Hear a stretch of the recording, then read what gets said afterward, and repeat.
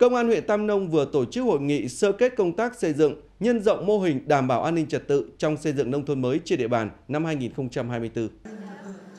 Trên địa bàn huyện Tam Nông đang duy trì hoạt động hiệu quả 12 mô hình về đảm bảo an ninh trật tự, 148 ban an ninh trật tự với 891 tổ liên gia tự quản về an ninh trật tự. Trong 9 tháng, các tổ chức tự quản đã cung cấp cho lực lượng công an hàng trăm thông tin có giá trị, giúp lực lượng chức năng giải quyết nhiều vụ việc tại cơ sở. 12 trên 12 xã tổ chức lắp đặt 352 mắt camera an ninh, triển khai mô hình phòng chống tội phạm xâm hại trẻ em tại xã Thọ Văn, Bắc Sơn, Dân Quyền và thị trấn Hưng Hóa. Thông qua việc xây dựng các mô hình đã khơi dậy ý thức trách nhiệm vì cộng đồng của nhân dân, phát huy tốt quy chế dân chủ ở cơ sở với tinh thần dân biết, dân bàn, dân làm, dân kiểm tra. Nhân dịp này, các tập thể cá nhân có thành tích xuất sắc trong xây dựng, nhân rộng mô hình bảo đảm an ninh trật tự trong xây dựng nông thôn mới trên địa bàn huyện trong năm 2024 được biểu dương khen thưởng.